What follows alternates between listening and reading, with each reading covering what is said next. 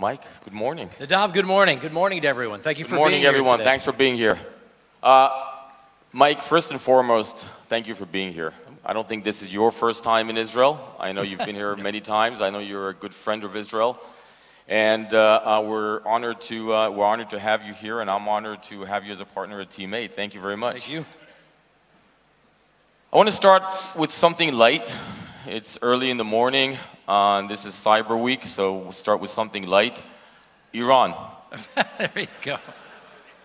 So, drone goes down, uh, an attack is prepared, and you know we're not in the community anymore, both of us. But from what we read, from what uh, uh, we've seen in the news, in the media, uh, the retaliation is going to be through cyber. So I want to get your thoughts on two things. First of all, do you think this course of action is effective? But moreover, now being on the business side, what does it mean for us, for the enterprise, for the business? So, uh, first of all, as Nadav said, I am no longer in the U.S. government. I don't speak for the U.S. government, and I no longer am the director of the National Security Agency or the commander of United States Cyber Command. And I'll only comment based on what we've seen in the media. So I draw several conclusions from what, I'm seeing in the media. Number one, we see cyber, which has been an ongoing part of the daily competition between nations, now clearly will be part of conflict between nations. Number two, it's interesting to see that uh, in this case, it would appear the United States and Iran both viewed cyber as a potential response option that offered lower risk than, for example, a kinetic or a military strike. That suggests to me that you're going to continue to see more of this if we continue to view cyber as something that's less escalatory. It's not likely to trigger it. Sends a message, but doesn't necessarily trigger an escalatory response from the other side. Thirdly, look at the significance of the targets the two entities chose to go after with cyber. Again, if you just read media reporting, one nation, the United States, based on media reporting, decides to use cyber as a tool to respond against military targets. Second nation, Iran, again based on media reporting, chooses cyber as a response option to not only go after US government entities, but also to go after entities in the private sector. And that would be my fourth and final point. In the West, and particularly the United States, we have always drawn this line between what is government and what is commercial or the private sector. And one of the takeaways from the activity that, again, according to the media, we're seeing, I'm not sure every nation in the world recognizes those same lines. And so, for those in the private sector, just as we saw the unintended consequences of NotPetya, where a nation state, in this case Russia, executed a cyber operation against the Ukraine, which very quickly escalated and had global implications and impacted thousands of users around the world who were in no way the initial intended targets. This episode that we're seeing the Iranian response makes me wonder increasingly, if you're in the private sector, are you going to be viewed as not just some private single business entity, but will you be viewed by some as an extension in some ways of the nation state. Hey, you represent the economic power or capability of your nation's economy, even for those companies that are large, you know, global entities. I just think this is going to be another interesting challenge for the private sector, where major companies suddenly are viewed as if I can go after you, I can have a major impact on the economy of the nation that I'm concerned about. Thank you, Mike. So, you know, we both spent the last five days um, with a delegation of uh, CISOs, some of which have, are joined, uh, have joined us here this morning. So about 120 CISOs and CIOs uh, from some of the leading enterprise um, from around the world discussing exactly this. What are the implications? What are the implications of trade wars? What are the implications of the fact that cyber is now seen as another dimension in warfare? And how that trickles um, from nation state to the uh, business side. Based on uh, the conversations that we had over the last few days um, with uh, some of the leaders of the industry, the CISOs, the CIOs from around the world, if we had to address two things, right? One is what do you see as the major up and coming threat? Um, and let's both talk about that, and then we'll talk about the up and coming solutions to those threats. Let's start with the threat. So the threat clearly is going to get more complicated and the attack space is only growing. So if you look at the proliferation of devices, if you look at the proliferation of connectivity that is being built not into just our economic models, but our everyday life, this clearly is going to, the attack surface is growing and the potential implications for us as individuals as well as businesses and governments is only growing. You look at the power of artificial intelligence, machine learning, and some of the technologies that are, that are going to coming down. They're both going to offer great defensive capability, and that's positive for us, but they're also going to offer attackers a, a, whole increased range of, of options. Um, the positive side for me is you see a lot more dialogue, but one of my takeaways having left the government after you know 37 years in the U.S. structure, uh, much of it spent in cyber and particularly in the leadership areas in cyber in my my government, partnering with many others, many of whom are, are, are here with us for this week. One of my takeaways as I find myself in the private sector now is doing more of the same and expecting a different response is just not going to work. And, and, one of my takeaways is I don't understand why we're not using more integrated solutions between government and the private sector. When I say integrated, I mean us working together day to day. Because another takeaway for me in my previous life, when I was often tasked to defend the private sector, critical infrastructure in the United States. I, I used to talk to my counterparts about it is hard for me to defend you if the first day we interact is in the middle of a crisis. That is not a good way to learn, and it's not a good way to optimize outcomes. So let's talk about trust. One thing that came in all of our discussions over the last five days is two things. One is complexity, and the other is trust. Start with complexity. We, we've come to a point where our networks, our IT networks, our OT networks, the convergence of our IT and OT networks have literally become too complex for humans to understand. And if we don't understand the networks that are, we are operating on, we lose confidence. Once we lose confidence, we lose trust, and hence cyber becomes an impediment to progress.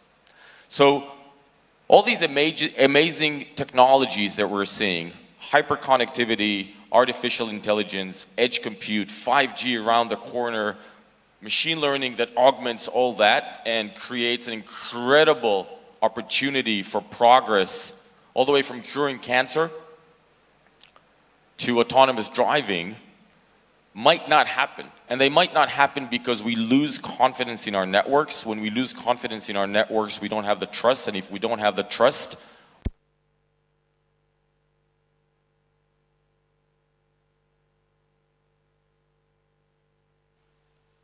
becomes a matter of public record. It doesn't matter if you're a part of a pilots union, if you're the company, Everyone is told we come together, we investigate, we then take the results of that investigation, we change pilot training around the world, we change manufacturing if it's needed, we change the techniques that the airlines use.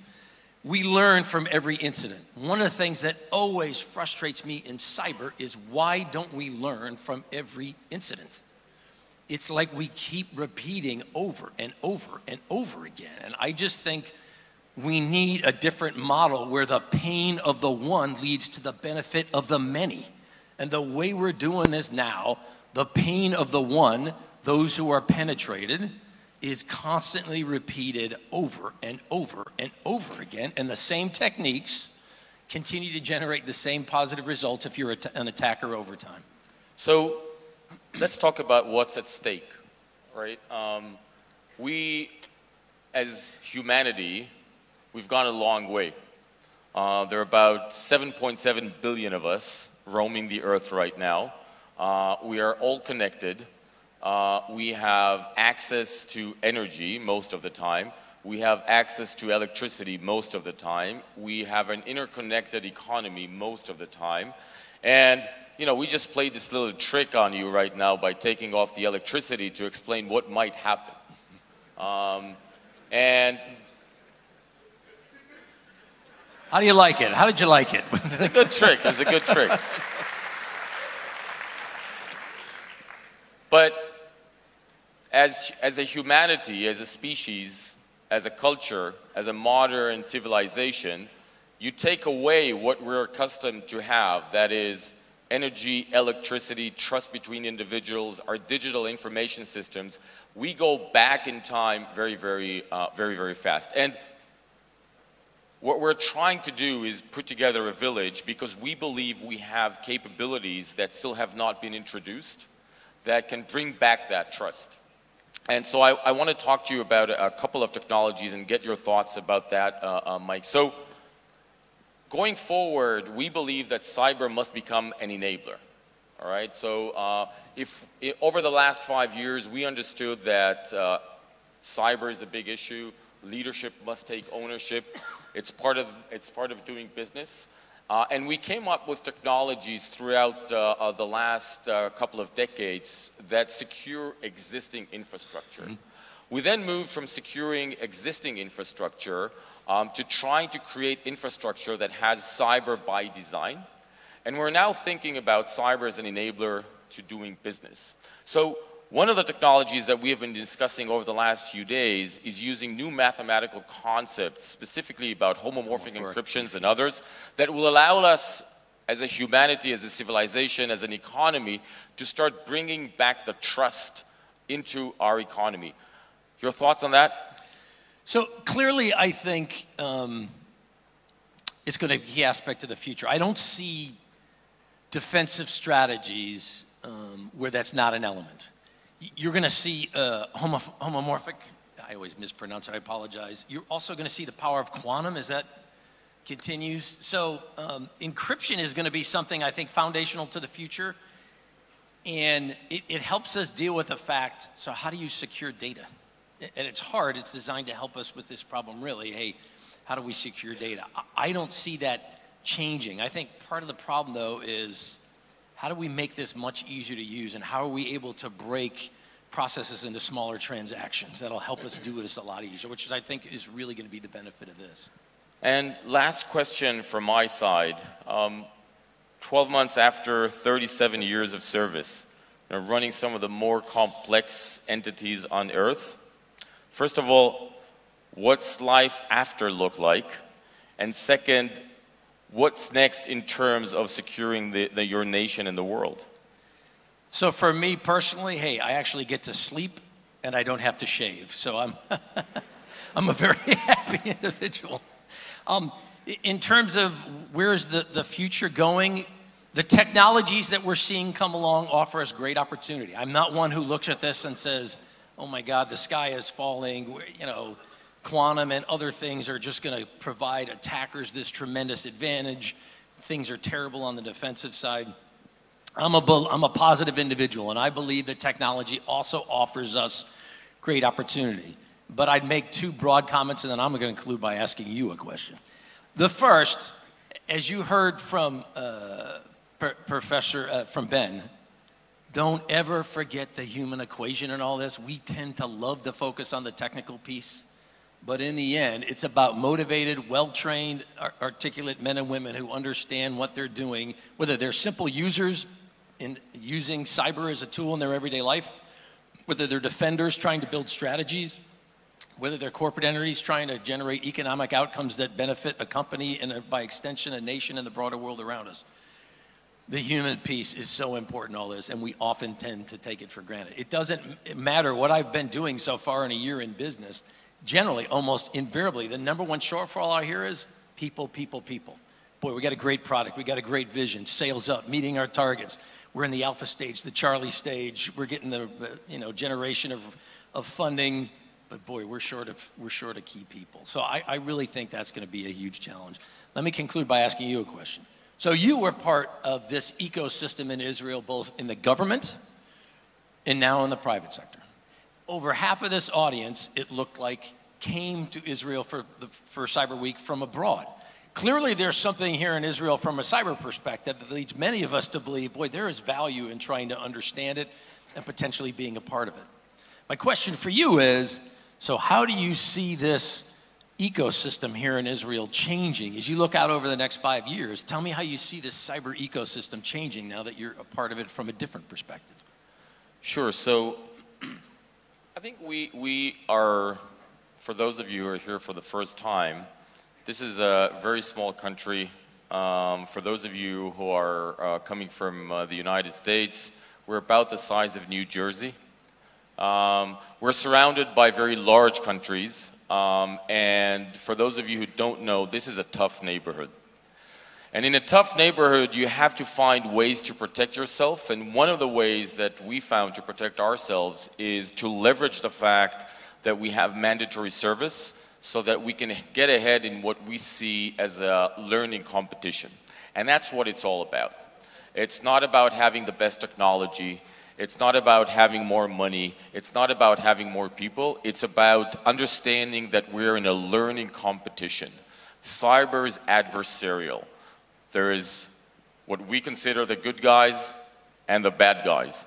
And if we are to prevail, it is because we will just learn faster, understand the world faster, and move faster. And so, what 8200 has been able to do is not hire the people that know the most, but rather leverage the fact that we have mandatory service to predict who can learn what extremely fast and by doing that, training the best and brightest to stand in the front lines of cybersecurity.